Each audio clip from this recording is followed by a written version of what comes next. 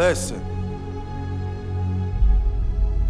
Everyone knows these temptations are strong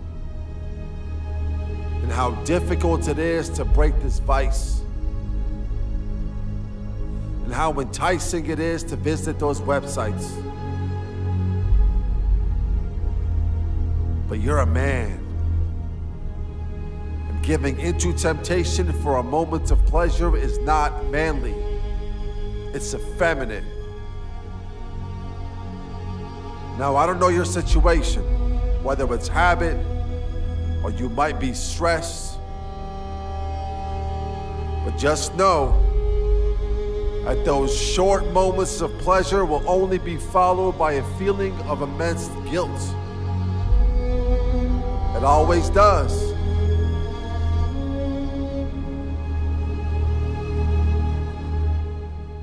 But if you resist, on the other hand, yeah, you might suffer for a short moment, but imagine how great triumph it's gonna taste. How you can hold your head up high and walk away from these temptations. Now, if you're single, you have the obligation to better yourself, the obligation to build virtue in preparation of your vocation. You don't want to burden your future family or congregation. Man up. And if you're married, you're destroying your soul, inviting demons in your home, and not to add to the fact that this is infidelity to your spouse.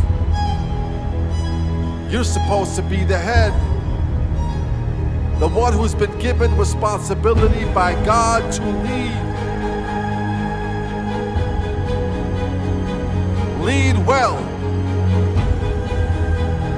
Do not give the enemy the satisfaction.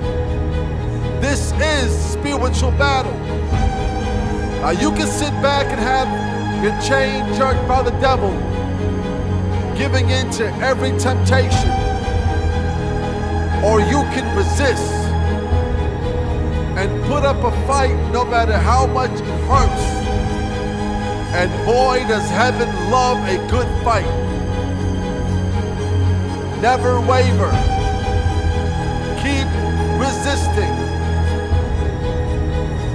Flee from the devil, and eventually, he will flee from you.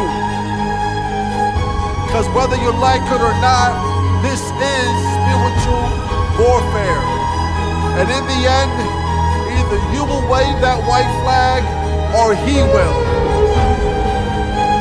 Make him do it. Now put down your phone. Close your laptop. Walk away from your PC, whatever the situation. And go pray the rosary for every single man and women who struggle with the same temptation. Do it for them do it for your family. And above all, do it because you love God more than you love sin.